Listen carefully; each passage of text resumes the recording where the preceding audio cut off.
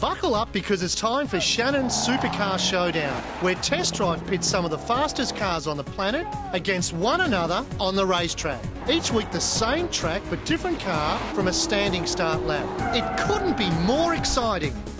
As we saw last week, there's a new leader in the Supercar Showdown, but plenty more challenges on their way.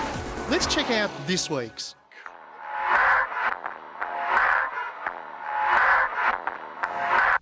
James, you'll never guess what type of car this is.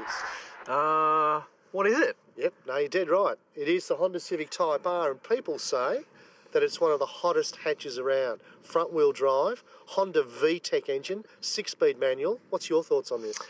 I reckon it's definitely one of the sexiest cars I've seen. I really like the styling on it. Really aggressive. If it, you know, if it goes half as good as it looks, we should be in for half a shot. Usually, the Type R badge means a good level of grip, good chassis dynamics, good zero to 100 times. So, this should be a competitive thing around here. It should be. And have you seen the dash? It's like, It's like a a spaceship.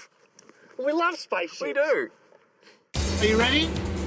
Three, two, one, go! Wow, this is a great little thing. I love the way the engine revs. Coming up third gear into turn one, really it in here. VSA is kicking in a little bit, but it's surprising the amount that it'll let you get away with. That's great. Seven and a half thousand change gears, shift lights on the dash working well. Fourth gear, 140 kilometres an hour so far.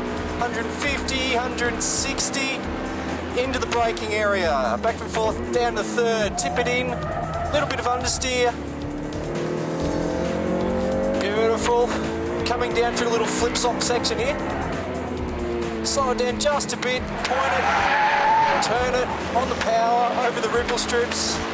Really well behaved car. Brakes are really good, pedal is great. A little bit of understeer on the way out of the corner, but it's really quite Well, I good. reckon he's half a chance here. Roll into this corner here, washing off a bit of speed with a bit of understeer, slowing the car down, turning it, back on the gas. Come on the straight, he's kept on the black stuff.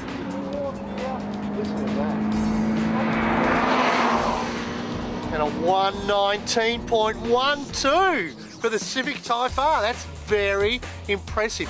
And the Civic Type R comes in with a very respectable time around the circuit. Well, how's that?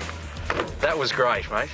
Sweet little engine. Just love to rev. That Tell you was, I, I think this really can be a contender.